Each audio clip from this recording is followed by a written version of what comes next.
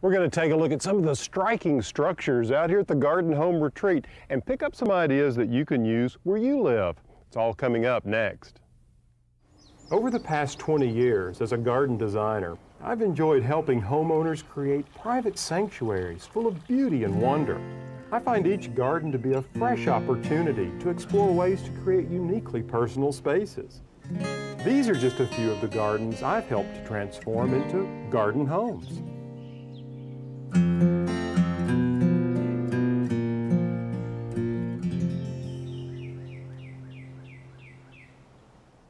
Hi, I'm Allen Smith. Welcome to The Garden Home, a show about blurring the lines between inside and out. Now today we're going to talk about structures and the importance of them in this garden as well as, well, many different gardens I've designed. You see, structures not only allow me to create beautiful pictures, but they also help me divide up the space and use those spaces more efficiently. Take, for example, the raised beds in the vegetable garden. These simple to construct boxes go a long way in making this very large garden more manageable. Not only that, but they're time and labor savers. We're able to create a specific soil mix by blending potting soil with organic humus and existing garden soil. And well, just look at the results. From spring through summer and certainly into fall, these beds just keep on giving. And from organizing in the garden to creating order inside, we'll look at this clever shelving system made from recycled house shutters, plus an overview of some of the interesting structures on this property and ways you can integrate ideas like rustic trellises, arbors, fountains, and much more into your garden home. Okay, let's get going. We'll start with the grape arbor.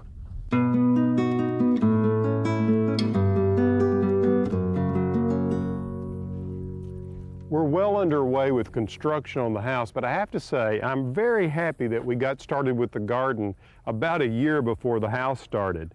And Angel loves that too, because she loves running in the garden, don't you, girl? You know, one of the most important structures here is this arbor.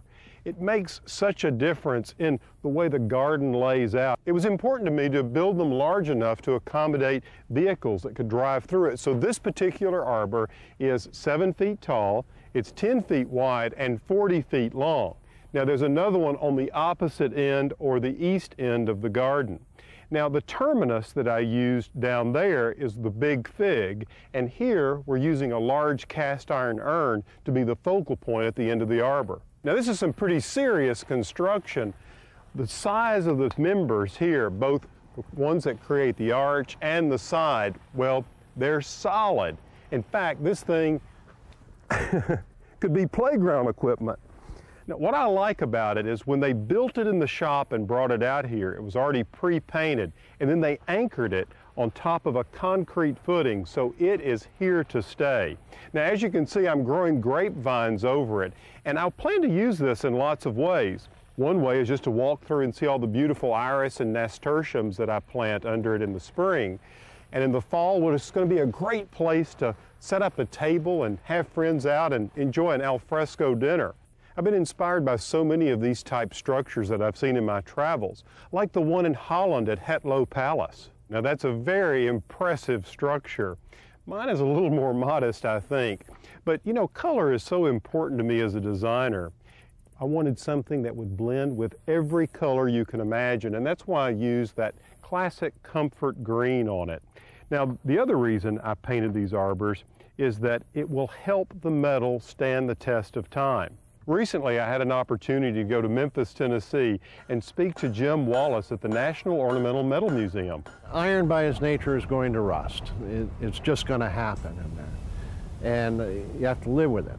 But what we can do is, is retard and to mitigate it. And if the piece is going to be an interior piece where the environment is relatively stable, low humidity, then we can use waxes and oils to do this. When we do that, we're going to be able to see the richness of the surface, the pores where they've been opened up when it's been hot. Each file mark is going to be showing up. And for fine iron work, for fine metal work, that's the way you're going to go. If it's going to go outside and you're going to have your iced tea on it, then paint is where you're going to have to go. Paint is, you know, spend some money on quality paint. Don't, don't chintz. Use a good primer and a good paint, and it'll last a long time. Okay, now let's move from ornamental ironwork to another form of metal, which is more functional. let's turn our attention to the roofing material we're using out here at the Garden Home. It's another example of green thinking because of its durability. Even though the final roof hasn't been installed yet, you can get an idea of what it's going to look like by just glancing over to the barns. You see, the red metal roof really fits into the architecture of the region, and it's one of our goals out here to make the buildings look as though they've always been a part of the landscape. Most people are choosing metal roofing for the appearance, the durability, and the longevity, anywhere from 50 to 100 years. Metal roofing typically costs more than other types, but when you factor in the life cycle cost, it far outweighs the disadvantages. This is a 29 gauge double lock standing seam. Each panel has a male and female seam and they interlock directionally. When we put one on, we have to seam the female side and clip the male side to hold it down. We're hand seaming. Double lock standing seam panel is one of the oldest forms of metal roofing. It has an interlocking fold that's folded over twice, and that makes a weather seal. Uh, it also makes the wind load very high. It takes a severe wind to blow it off. This type of roof brings a, a warm rustic appeal, which is what they're looking for at this site.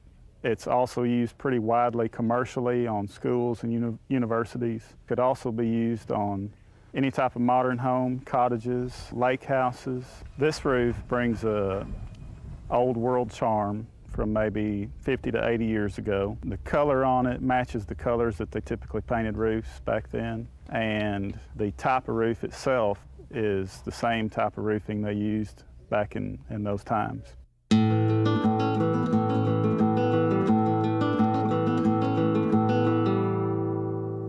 If you've never grown sunflowers, well, you've missed out on one of life's great joys. They're one of the easiest flowers to grow as long as you have medium, well, reasonably good soil and full sun.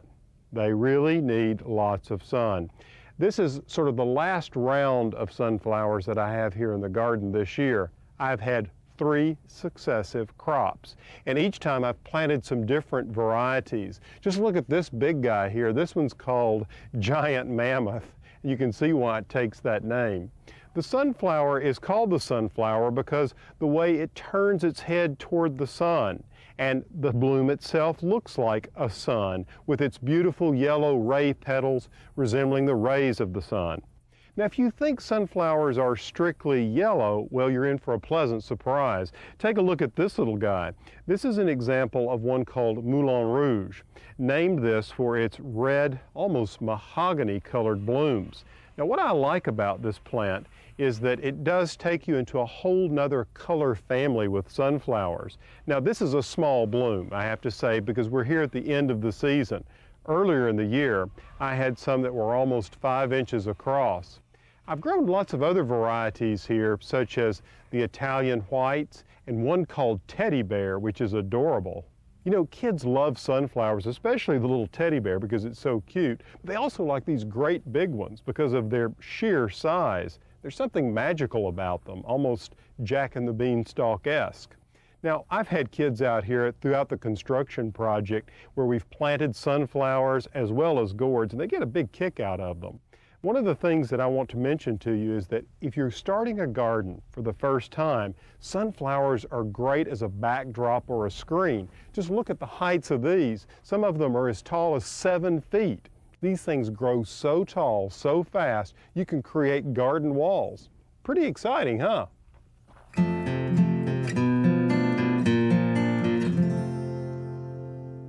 Certainly, garden design is an art form, but it's one that actually grows and gets better with time. Here you see a relatively young garden that I've been working on. Now, what I want to point out here is while the garden is still very young, you can really begin to see some of the important forms and the structures. You can already see the important role they're playing from the raised beds and garden walls to the gate and the pergola. Designer Ward Lyle, who's been assisting me on the design of the cottage at the Garden Home Retreat, also teamed up with me to design this garden. He stopped by to talk to us about some of the crucial elements here.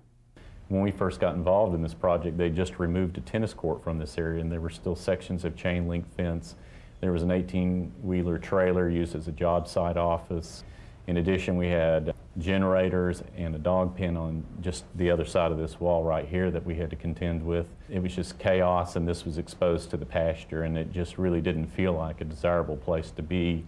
And it was trying to figure out a way to make this backside of this guest house become the best part of the garden instead of the worst part of the garden. And that's where the idea of creating a wall garden came from, just out of sheer necessity to deal with all these issues.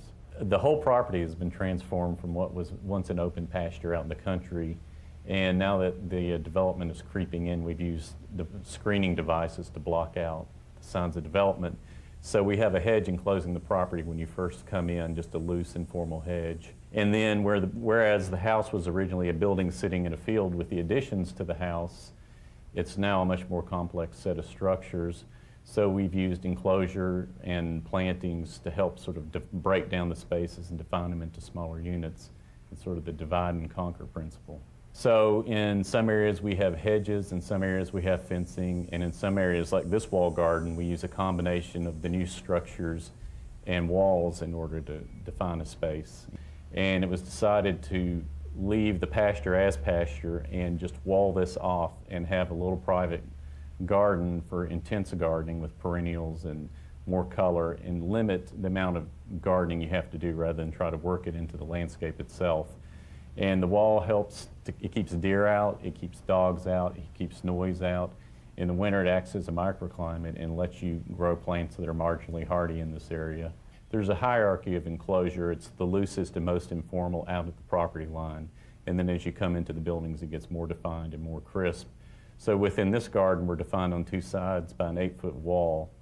And then within the garden itself, we have paved paths and defined areas for planting for the uh, perennial garden, and then to help sort of balance the blousiness and the sort of frothy nature of the perennials, we've, we've put in low boxwood hedges to give some structure and order. We're in the middle of planting it right now. We've gotten our green structure in, and we just started adding the perennials in. So it's just a matter of, you know, enclosures on a, a series of scales, all the way from the broad to the specific.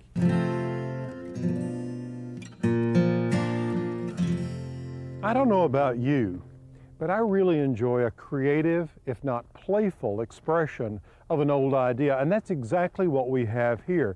You see, this is an example of a medieval knot garden. Now, these knot gardens were laid out at the California estate Filoli near San Francisco. And what's amazing to me about it, in just a 35 foot by 35 foot square, they've created a magnificent articulation of just four plants. Here you have germander flowering with its medium pink blooms, juxtapose dwarf red barberry. In the center, the silvery Santolina creates a design in the middle. And at the four corners in the middle of this design, we have myrtle. Now what makes this so interesting visually is the way the plants are clipped, as though one is tucked under or woven under the next hence the name a knot garden. It's a series of knots of strings, but in this case, it's of bands of plants. Now over here behind me, you can see another design articulated with some of the same plants, but some different ones. Here you have Hidcote lavender around the edge. There's our friend germander, the red barberry, and in the center is horehound with its silvery color. And on each corner is a lollipop of rosemary, tightly shorn, one can only imagine how old a rosemary plant like this must be. Just look at the size of the trunk. It really does look like a lollipop. But you know, I have to say, while this is fantastical, the most whimsical and amusing part of this garden is right over here. Just take a look at a miniature form of this knot garden laid out in this box. The same color pattern is here. You have the burgundy reds, you have the silvery grays and that light green represented in boxwood here, whereas before it was in myrtle. You can tell that these things require a great deal of pruning and interpretation to be successful. And the silver colored one is as beautifully articulated. Now these are just a few examples of the many wonders that you can see here at Filoli. But this structurally impressive design element can also be applied to smaller properties. Here's an example from a garden in Germany, and another in a Charleston garden designed by Price and Louisa Cameron. Of course, the strongest design element in this garden would be this series of parterre gardens that run right down the axis of this part of the garden? Price chose the plant material for its contrast and it's basically in the shape of the St. Andrew's cross. They're the first things that you see as you come out of the house. Well, they're dramatic, and I love the three different varieties of, of holly, or what I would say a mouse-eared plant, because they have that small little ovate leaf. I see you have the Crenata holly around the edge, the Japanese holly, some sort of boxwood, I guess, in the center. Kingsville box. And then germander. Mm -hmm. Yeah, nice. Three different colors of green working together. And I have fun with the topiary in the center. Little, little whimsy. Mm -hmm. That's great. Now, I see you've bordered this in brick and you've created a raised bed. I like the orientation of the brick, flat at the edge and then standing on the end to create a raised well, bed. Well, that was easy to do because we needed drainage for the plant material. So we just thought of barely bedding it in concrete. The brick that you've used to create this, they look ancient. They are old, and we dug them up ourselves from underneath this section of what is now lawn. There used to be a 70-foot brick outbuilding here, and this was the patio or paved area in front of it. I see. And you won't believe what else we dug up in this garden. We've dug up bricks and all sorts of artifacts, which I'd like to show you. Wonderful a bit of a, a, bit of archaeology here in the garden. Oh, and it's so much fun. I'm still finding things. Louisa, I was only expecting a few things. I mean, this is amazing. All of this came out of the garden? All of it, and I have buckets more. Oh, my heavens. Look at this. Look at that. looks like a coin. It is. It's a George II coin. I took it to a coin expert. Well, that certainly dates the house, doesn't it? It does. And what is this? That is the escutcheon from a soldier's cartridge box. I see, right, to, to wear soldier. over here on the belt. Mm -hmm. Amazing.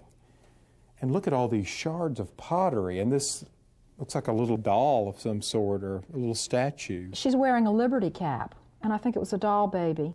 How interesting. And this is this one I found just when I was sweeping up. It's another doll, China doll with a bonnet on. So you you find these objects frequently when you're working in the I garden? found this one just last month. Amazing. So, bit by bit, the garden reveals her secrets. It does.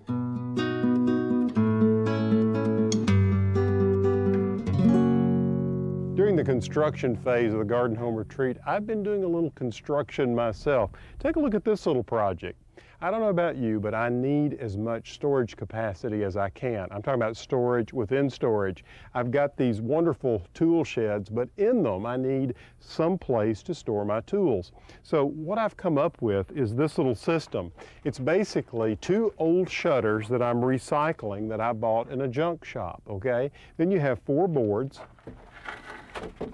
one on each side. It's one by 12 pine one on top, one on the bottom. And then if you open this up, you can see that I've used pegboard on the back. And all I have to do is put these brackets in and I'm ready to go. Now, what's left to do here is I want to put a coat of paint on it. And this is freestanding, so I can place it in the tool shed and move it around anywhere I want. And it's just going to be a great place to keep all of those garden tools organized.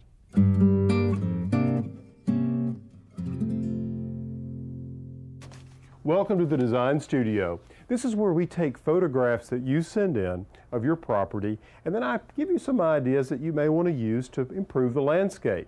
Today we have a photograph from Alabama from Clay. Clay has a nice looking house here, the craftsman style, looks like it's from the first quarter of the 20th century. And what he'd like to do is do something that's a little non-traditional. And I've, I've, got a few ideas that might just come into play here.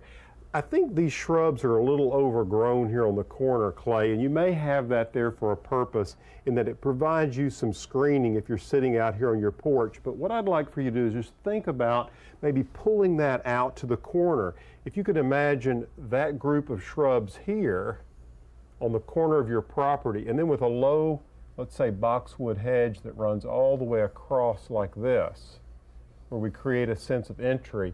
I would probably replace this lantern with something that's maybe a little more to the period of the house and I would go taller with it and then remove this, looks like a Carolina jasmine because it's gotten completely overgrown and I would probably grow a Madison jasmine uh, because of its sweet fragrance up on the pole or even a clematis. I'd also carry that boxwood hedge all the way down to the other side, then come back with a sasanqua hedge, beautiful fall blooming camellia along this side here. Now that means you could take out this holly if you wanted to and bring the sasanquas all the way down and this would give you an opportunity to plant maybe a Camellia japonica here which would give you beautiful flowers in the winter. Now let's talk about this mondo grass that's coming around the base of the house like that. I think you can leave that, it's very traditional, but if you want to do something different, if you took that out and expanded your bed just to this point here, all the way around, it would give you a little more room and you could plant this all in dwarf gardenias. Again, the fragrance would be fantastic. Now, a couple of suggestions on paint color. I think that what I'd like to see is this darker. Notice this white. It really pops at the foundation. And just look what a difference it makes removing the white like this. I think it could really help. And probably what I would do, Clay, is take this shutter color. Now, it may be black. It's hard for me to tell here. But I would apply that color down here, and that anchors the house. Now, these are just a few suggestions, and I, I hope they help.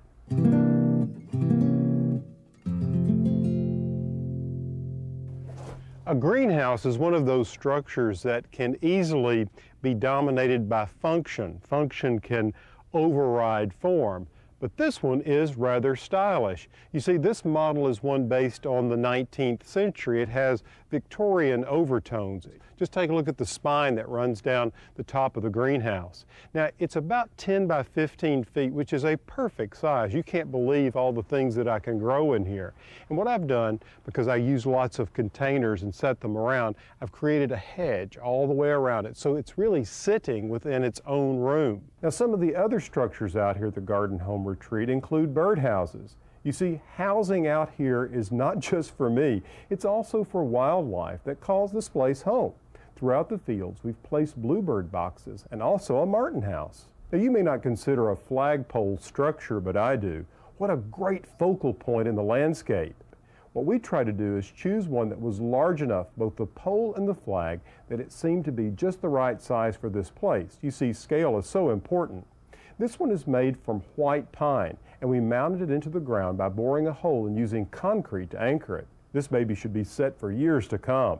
Now let's move to the front of the property. Here we wanted to say welcome with this pair of entry pavilions and this gate.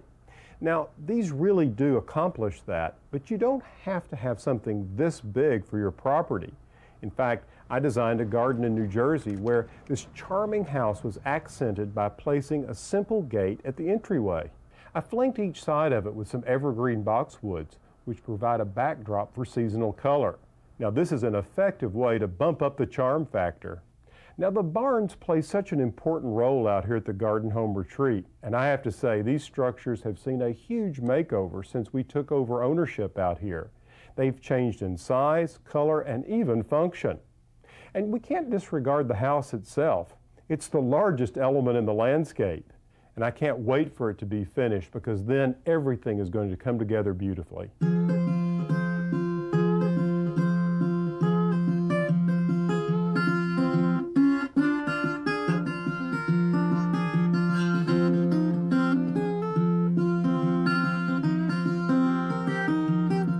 as we close the show, I'm struck by how this broom corn serves as a form of structure, a backdrop, if you will, for all of these beautiful zinnias. You know, structure is such an important part of creating, well, exterior design spaces as well as the interior. And oh, we can't forget about those green components we saw in the show, the importance of long-lasting metal roofs as well as garden ornament that will be here for a long time. Until next time, from the Garden Home, I'm Allen Smith. More information about today's topic and other topics covered in this series can be found at pallensmith.com. On an upcoming episode of P. Allen Smith's Garden Home. We're talking about green ideas for the home. Now, I don't mean paint the home green. I'm talking about environmentally friendly ideas that you can put to work. We'll start the show off by talking about bricks. You see, these are an ancient building material, and they're still some of the most effective. we've got ideas for you that will help transform your home into a garden home.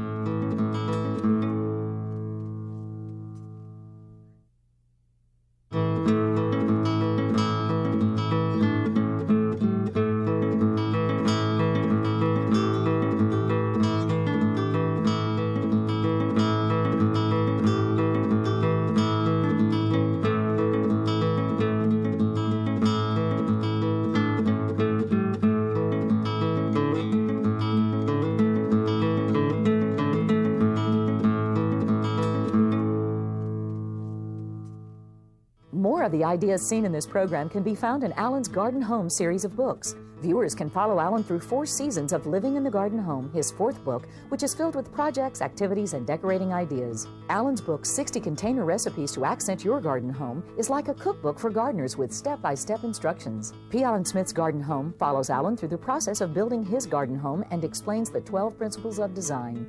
Allow four to six weeks for delivery when ordering toll free at 866 359 7004. Funding for P. Allen Smith's Garden Home is made possible by the following. Proven Winners. Proven Winners selects plants for their color, beauty, vigor, and flowers that last from spring through fall. You'll find Proven Winners plants in their signature white containers at garden centers across the country. The ProMix Ultimate Collection of growing mixes from Premier. The quality of your potting and planting mixes is the foundation of your garden's performance the ProMix Ultimate Collection of growing mixes from Premier. Stihl, dedicated to helping make yard care easy, with a full line of handheld power equipment, sold and serviced only by your local Stihl retailer. DuPont, makers of DuPont garden products, including landscape fabrics, available at Lowe's. United Industries, makers of garden safe insect control products, on the web at gardensafe.com.